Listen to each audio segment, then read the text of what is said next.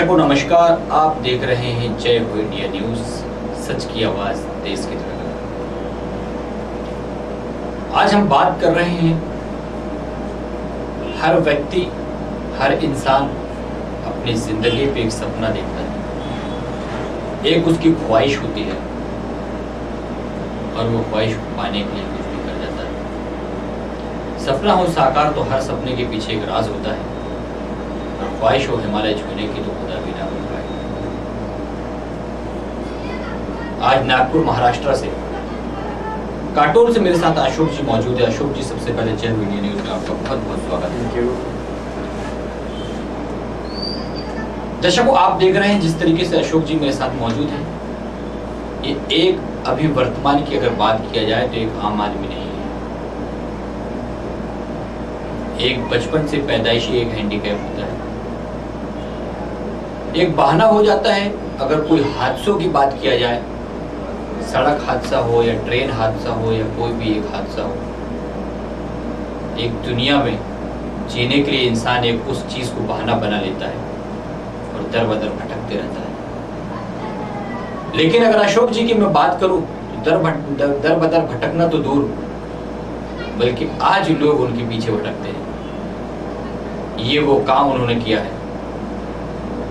मैंने वही बात कहा, फिर से अभी कह रहा हूँ, सपना हो, साकार तो हर सपने को पाने के लिए ख्वाहिश जो होती है, पीछे कभी मुड़ के नहीं देखना चाहिए। अशोक जी 2008 में आपका ट्रेन हादसा होता है।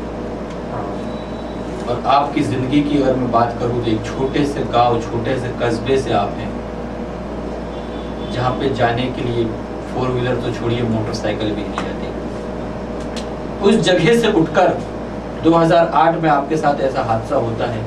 लेकिन बचपन से ही आप पहाड़ों पे चढ़ना, खेतों पे घूमना और हवाएँ फिजाएँ ठंडी ठंडी खाना। एक सपना आपने लेके बैठा हुआ था और उस सपने को आज आपने साकार कर दिखाया है। महाराष्ट्र नहीं बल्कि पूरी केंद्र सरकार और केंद्र नहीं बल्कि आज पूरा हिंदुस्तान आपको जानता है। क्या ख्वाहिशें थी आपकी? क्या लक्ष्य है और क्या करना चाहते हैं? ख्वाहिशें। बचपन में तो कोई ख्वाहिशें नहीं थी, बस घर, खेत और छोटा सा गाँव था उतना ही था। लेकिन जब बड़े हुए और कॉलेज पढ़ते पढ़ते समय जब एक्सीडेंट हुआ तो एक्सीडेंट के बाद में जो एक साल करीबन बेड पर गया तो उस समय पता चला कि एक फिजिकली फिट है तो सारी दुनिया मेरे साथ थी, सारे रिलेटिव दोस्त। और एक्सीडेंट के बाद में एकदम से सारे लोगों ने छोड़ दिया है। एक झटके में सब खत्म हो गया। और वो एक साल में देख रहा है कि मैं अकेला रह रहा हूँ बेड बेड पर पड़ा हूँ और कोई नहीं है मेरे साथ में। तो इस चीज़ ने अ, मुझे इतना एक एहसास दिलाया। हाँ यानी एक सिचुएशन ऐसी है कि मेरे दो ऑपरेशन गलत हो चुके हैं उसके बाद में मैं घर में बेड में पड़ा हूँ पैर से ब्लीडिंग हो रहा है पच्चीस किलो वेट कम हो गया है उसके बाद में अस्थमा हो गया और अस्थमा बढ़ के सेकेंड स्टेज अस्थमा हो गया। तो ये सब निगेटिविटी लाने वाली चीज़ें थी। तो मैं देख रहा हूँ कि मैं डिपेंडेंट बनते जा रहा हूँ घर वालों के ऊपर। तो ऐसी ज़िंदगी होने से तो अच्छा है कि ज़िंदगी ही ना हो। तो एक समय मुझे डिसाइड करना था कि मुझे किसी और के ऊपर डिपेंड होके जीना है या मुझे खुद कुछ करना है।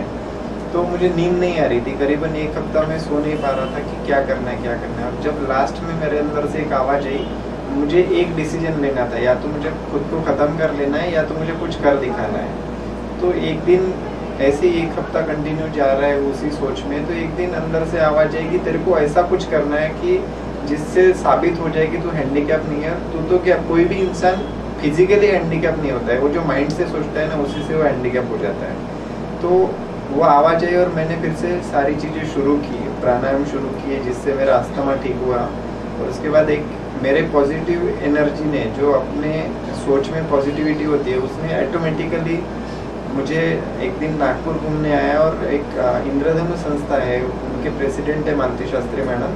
उन्होंने मुझे गार्डन में बैठा देखा। तो वो एक संजोग नहीं था वो जो पॉजिटिव एनर्जी होती है वो खुद आपके लाइफ में कुछ ना कुछ पॉजिटिव कराती है। कहीं ना हाँ। कहीं ईश्वर की तरफ़ से एक मदद कहा जाएगा मदद, उसको। यस तो इस ईश्वर के ऊपर भरोसा होगा उसी को मदद मिलेगी। जो भरोसा ही नहीं रखते उनको नहीं मिल सकती। तो उन्होंने मुझे पूना लेके गए, फिर वापस लाया, फिर प्राइवेट हॉस्पिटल में मेरा ऑपरेशन कराया। और ऑपरेशन के दौरान ही जब मैं सोया हुआ था टीवी देख रहा था, एक न्यूज़ देखा मैंने कि एक लड़की एवरेस्ट चढ़कर आई है, कृष्णा पाटिल नाम है पूना से। तो देखा और पहले से मैंने निगेटिविटी देखी थी तो मुझे कुछ तो भी ऐसा लक्ष्य चुनना था कि जो बड़ा हो और जिससे साबित हो जाए कि यार फ़िज़िकल फिट लोग जाने के लिए डरते हैं तो एक तो वो जो न्यूज़ आपने देखा जो हाँ। लड़की जो आप बात कर रहे ज़िक्र कर रहे पूना हाँ। की लड़की की तो क्या वो हैंडीकैप नहीं वो हैंडीकैप नहीं है वो फिजिकली फिट है। लेकिन वो न्यूज़ मेरे लिए तो सिर्फ़ मुझे स्पार्क चाहिए था। मुझे फिजिकली हैंडीकैप है या नहीं है इससे कोई फ़र्क नहीं पड़ता था। तो जो फिजिकली फिट लोग करते वो सारी चीज़ें मैं करूँगा ये मैंने तय किया था। और वहाँ से सबसे पहला मेरा फ़ूड जो था वो एक सौ का था जो संस्था ने बना के दिया था। और वो मैंने यूज़ किया।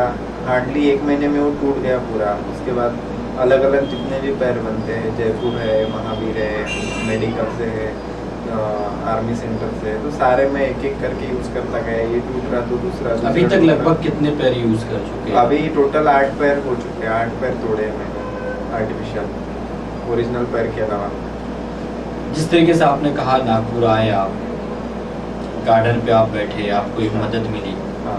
मदद मिलने के बाद आपका तीसरा ऑपरेशन हुआ। हाँ। सक्सेस हुए उसके बाद से आपको अगर इस, इस मुकाम पे पहुँचे हैं आप हाँ। सबसे पहला हाथ सबकी पहली मदद अगर कहा जाएगा या रास्ता दिखाने वाला जिसको कहा जाएगा तो किसको मानते हैं? रास्ता रास्ता जो दिखाया तेजियन फाउंडेशन ने मुझे सही डायरेक्शन दिया एक्सीडेंट के बाद में और वो जो सही डायरेक्शन मिला, उसके बाद जो अलग अलग लोग मिले तो हमने जब स्टार्ट किया, मदद खोजना स्टार्ट किया तो सबसे पहली मदद जो मिली वो तो इंद्रधनु संस्था ने मुझे एक नई ज़िंदगी दी थी। एक बेड पर पड़े इंसान को जीना सिखाया था। उसको चलने फिरने लायक बनाया था। और नागपुर आने के बाद में जो अलग अलग काफ़ी जगह से लेकिन सबसे पहला जब हम मदद खोज रहे थे स्पॉन्सरशिप खोज रहे थे तो उस समय घूम बहुत रहे थे, लेकिन मदद नहीं मिल रही थी। तो सबसे पहले अपने सर है राजेश भाटी सर तो वो मिले और वो लाइफ में एक टर्निंग पॉइंट था कि उस समय जो स्टार्ट हुआ हमारा, एक ब्रोशर प्रिंटिंग होके जो सब तरफ़ जाना शुरू हो गया तो धीरे धीरे मदद आना शुरू हो गया। तो वो सबसे पहली मदद थी और वहाँ से फिर पिकअप पकड़ा। तो 2012 से लेके अब 2016 में आप देखोगे तो कई सारे अलग अलग एक्टिविटीज़ मैंने की है लेह लद्दाख बाइक राइडिंग की है तीन हज़ार किलोमीटर बुलेट से। उसके बाद में पैराग्लाइडिंग में एलिमेंट्री पायलट और क्लब पायलट किया है लाइसेंस है मेरे पास पैराग्लाइडिंग का। उसके बाद स्कूबा डाइविंग किया है, पानी के अंदर सिलेंडर लेके जो जाते हैं अपन समंदर में, उसमें open water scuba diver running किया है बाईस किलोमीटर दो घंटे में। मार्शल आर्ट में ब्लैक बेल्ट ली है जिम्नास्टिक पूरा करता हूँ, उसके बाद में पूरे योगासन आते हैं मुझे। अभी रामदेव बाबा ने इनवाइट किया था, आस्था पर आया था पूरा डिटेल्स तो और उनके गुरु के पास, ब्रह्मानंद सरस्वती के पास जाके मैं पूरे प्राणायाम सीखा हूँ। तो आज ऐसी कोई फ़ील्ड नहीं है जो मैं कर नहीं सकता हूँ। तो एक फिजिकली फिट इंसान जो कर सकता है, उससे थोड़ी ज़्यादा ही चीज़ें मैं आज करता हूँ। और हर तरीके की व्हीकल ट्रैक्टर ट्रक से लेके तो सब कुछ चलाया, आज भी चलाता हूँ। और यानी ऐसी कोई चीज़ नहीं है दुनिया में, जितने बचे हैं मेरे हाथ में स्पोर्ट वो सारे भी मैं करने वाला हूँ। और आने वाले समय में आप मुझे आयरन मैन कॉम्पिटिशन में भी देखोगे।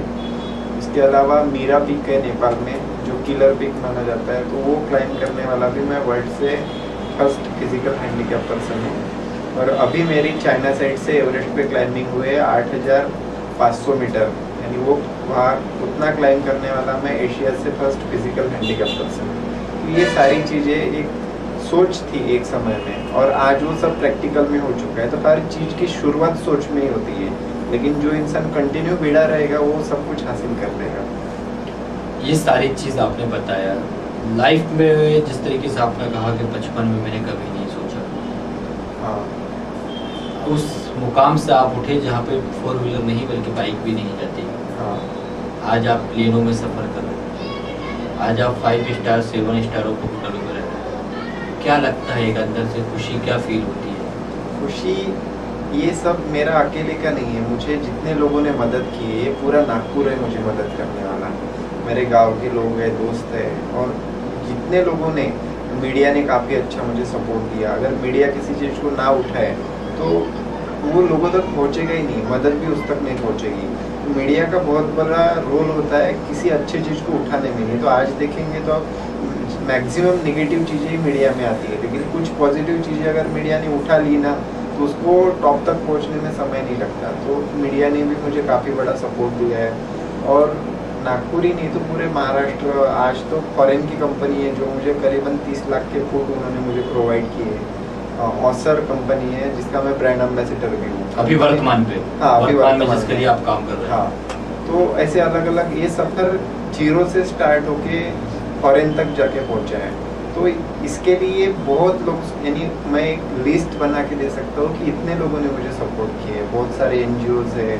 अशोक जी तो बात हो गई जैसे एनजीओ ने हाँ। आपकी मदद किया पूरे नागपुर ने मदद किया आपके काटोल वर्ग में जितने फ्रेंड सर्कल है सबने किया मीडिया ने हेल्प मदद किया। हाँ। अगर हम दूसरे पहलू पे देखें शासन प्रशासन द्वारा हाँ। क्या मदद दी गई आपको? उस वक्त जिस वक्त कोई आपके साथ नहीं था। उस वक्त प्रशासन ने तो इतना है नहीं कई प्रशासन में ऐसे कई लोग हैं जिन्होंने हाँ बोलने के बाद भी मदद नहीं की गारंटी दिया ऐसा करेंगे वैसा करेंगे। बड़ी बड़ी बातें मैंने सुनी लेकिन कभी मदद नहीं हुई। और आ, इतना सब घूमने के बाद ये सब चल रहा था उसी बीच में मुझे पता चला कि कोई आमदार है बच्चू कोडू नाम का वो कुछ कर सकता है। मैं फ़र्स्ट टाइम जब फ़ोन किया तो मेरी जब बात हुई मुझे लग ही नहीं रहा था कि मैं आमदार से बात कर रहा हूँ। और उसके बाद उनसे मुलाकात हुई और उन्होंने एक हफ़्ते के अंदर जो रिज़ल्ट दिए जो काम करवाया तो तो लाजवाब था। और मैंने इसके पहले कभी इस तरीके का आमदार नहीं देखा था या राजनीति में ऐसा व्यक्तिमत्व नहीं देखा था कि ऐसे भी कोई होता है। वैसे भी वो हाँ। नागपुर जब आते हैं हम लोगों के सामने तो हम भी उनको नहीं मानते कि वो आमदार है। बिल्कुल। तो वो जो कैरेक्टर मैंने देखा तो गरीबों का भगवान अगर किसी को कहा जाए ना तो मैं उसी को कहूँगा। उनके ऊपर एक अभी मूवी भी बन रही है। हाँ शायद वो लिख नहीं कर सकते इसलिए। आपके साथ तो एक हादसा हुआ था? हाँ। जिस वजह से आप इस हालत पे आए बिल्कुल। लेकिन उसके बाद भी आपने अपने लक्ष्य को पाने के लिए कहीं से भी पीछे मुड़कर नहीं बिल्कुल। लेकिन जो बचपन से ही शुरू से ही हैंडीकैप है उसके लिए शासन प्रशासन से क्या मोहर लगाएँगे आप? क्योंकि उस लम्हे से आप गुजरे हैं जिस लम्हों में आपको अगर देखा जाए कहीं ना कहीं खुले अल्फाजों में मीडिया के माध्यम से कह रहा हूँ कि पैर कटने का कारण भी आपका वही है। मेडिकल लाइन देखा जाए या शासन प्रशासन की तरफ़ देखा जाए। अगर वास्तविक रूप में अगर वो आपके ऊपर ध्यान दिया होता तो आज ये पैर नहीं कटा होता। तो शासन प्रशासन के क्या मोहर लगाएँगे उनके लिए जो बचपन से ही हैंडीकैप है। प्रशासन के पास काफ़ी सालों से एक जीआर निकला है कि जिसमें तीन परसेंट राखी होता है हैंडीकैप के लिए। लेकिन तीन परसेंट राखी होने के बाद भी अगर आप देखो तो उसमें आपको पता चलेगा कि तीन परसेंट पूरा का पूरा वैसे ही पड़ा है। वो बिल्कुल भी खर्चा नहीं करते और लास्ट में वो पैसा वापस चला जाता है। तो जो हैंडीकैप पर्सन है, उसको पता भी नहीं है कि हमारे लिए तीन परसेंट आता है। किसी को पता नहीं है। तो वो अगर खर्चा करे, इसमें बच्चों को उन्हें काफ़ी सारे आंदोलन किए सक्सेसफुल किए और काफ़ी सारे केसेस भी उनके ऊपर लगे तो उस इंसान को सही में प्रणाम है कि वो इंसान इतना बड़ा, यानी उनकी जो संस्था है, प्रहार अपंग क्रांति, वो सिर्फ़ हैंडीकैप के लिए ही सबसे बड़ा काम कर रही है आज के डेट में। और जो सालों से जीआर निकले, लेकिन जो लागू नहीं हो रहे, वो ज़बरदस्ती लागू करवा रहे आंदोलन करा करा के। तो कई लोगों को मजबूर किया उन्होंने कि तुम ये तीन परसेंट आए और अभी आखिरी महीना बचा है साल का, अभी तक तुमने बांटे नहीं। अगर एक महीने के अंदर नहीं बांटोगे तो देखो फिर मैं क्या करता हूँ। तुमको बांटना पड़ा। तो ऐसा कई पैसा है। बाकी दूर का तो छोड़ो, नागपुर में भी नहीं बांटा गया। मैं अभी लास्ट में गया था लास्ट मंथ में, मार्च के पहले तो नागपुर का भी पैसा वैसे ही पेंडिंग पड़ा था। तो पूरे, ऐसे महाराष्ट्र की नहीं, पूरे इंडिया की बात है। पूरे इंडिया में यही चल रहा है आज के डेट में। तो क्यों नहीं बांटते? तुमको पैसा किस लिए दिया गया? हर फ़ील्ड में तीन परसेंट राखी हुए आमदार, खासदार के पास भी तीन परसेंट है। किसको देते हो? और ये होना चाहिए, ये सरकार ने करना चाहिए सबने ईमानदारी से, क्योंकि जो हैंडीकैप है वही सही में गरीब है, क्योंकि वो आम लोगों की तरह काम नहीं कर सकता है। आज देखो आप जिनके पास दो हाथ, दो पैर है, डिग्री है, उनके पास काम नहीं है। एक बेचारा हैंडीकैप है, पैसे नहीं है, पढ़ नहीं पाया ज़्यादा, वो क्या काम करेगा? पहले वो अपाइज है किसी हाथ से, पैर से या किसी चीज़ से। तो उसके पास वैसे भी काम नहीं है, लेकिन आपके पास जो स्कीम है, वो भी आप दबा के रख रहे हो उनसे। तो ये सब चीज़ें बंद होनी चाहिए और उनके लिए जो पैसा आ रहा है, वो हंड्रेड परसेंट अगर इन्होंने बांटना शुरू कर दिया, वो स्कीम उनको देना शुरू कर दिया तो सबके पास रोज़गार हो सकता है। तो सबसे पहले तो वो तीन परसेंट सब लोगों तक पहुँचे, ये सबसे पहली प्रायोरिटी है। बाकी तो जो भी सरकार करा रही है, जितनी स्कीम निकल रही है तो मेरा कहना इतना ही कि वो सारी स्कीम वहाँ उन तक पहुँचे। सरकार के पास आज भी डाटा नहीं है कि कितने हैंडीकैप कौन से गाँव में है। लेकिन एक बच्चों का वो कड़ू है उनके हर गाँव में कितने हैंडीकैप है पूरा उनके पास रिकॉर्ड है। और ऐसा कोई अगर हम बात करें जिस तरीके से आप जो भी अभी कार्य कर चुके हैं आने वाले समय में आपके क्या लक्ष्य और क्या ख्वाहिशें हैं? लक्ष्य, मैं स्पोर्ट में ही अपना करियर मैंने शुरू किया पैर जाने के बाद में। और अभी आने वाले समय में स्विट्जरलैंड में जो आयरन मैन कॉम्पिटिशन होगी, उसमें मैं पार्टिसिपेट होने जा रहा हूँ। शायद एशिया से किसी ने आज तक पार्टिसिपेट नहीं किया है हैंडीकैप में। तो उसमें चार किलोमीटर स्विमिंग है एक सौ अस्सी किलोमीटर साइकिलिंग है और फोर्टी टू किलोमीटर रनिंग है। तो ये पूरा कंटिन्यू में करना होता है, पंद्रह घंटे के अंदर। तो इसमें पार्टिसिपेट होने वाला हूँ और इसकी करीबन आधे से ज़्यादा तैयारी मेरी हो चुकी है। चलिए एडवांस में जय इंडिया न्यूज़ आपके लिए इसकी शुभकामनाएँ देता है कि मालिक आपको कामयाब करे। बिल्कुल थैंक यू जिस तरीके से बच्चू कड़ू महाराष्ट्र विधायक की आप बात कर रहे हैं एक संस्था है।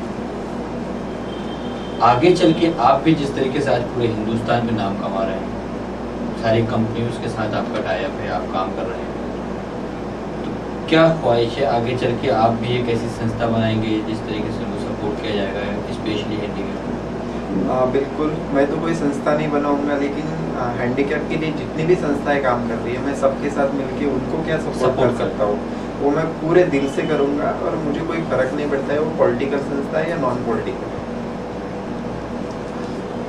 ये थे हमारे साथ अशोक मैने साहब जो अपनी लाइफ के बारे में अपनी ज़िंदगी के बारे में बता रहे थे और मैंने भी शुरू में भी वही बात कहा अगर सपना अगर अपना है हर सपने को पाने के लिए कोई बड़ी बात नहीं होती।